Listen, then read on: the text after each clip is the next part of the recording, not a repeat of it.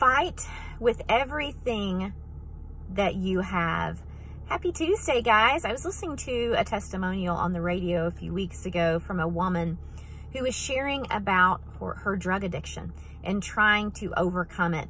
And she said her bit of wisdom was do not give in to this thing. Fight with everything that you have. She went on to say that she continued to keep coming up short in her recovery and she would relapse and she would relapse and she would relapse again.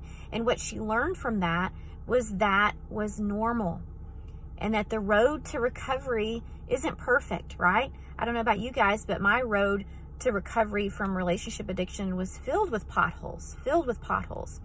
And it doesn't, you know, we don't fall into our addictions overnight.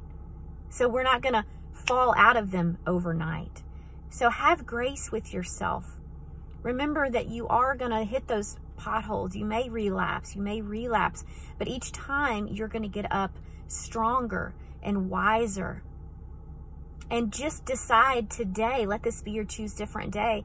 I will not give in to this thing. I'm going to fight with everything that I have. You can do it. I believe in you. There's hope and there's healing and there's this amazing, amazing plan that God has for your life on the other side of this. So I hope that speaks to someone today. You guys have an awesome Tuesday, and I will see you next week. Bye.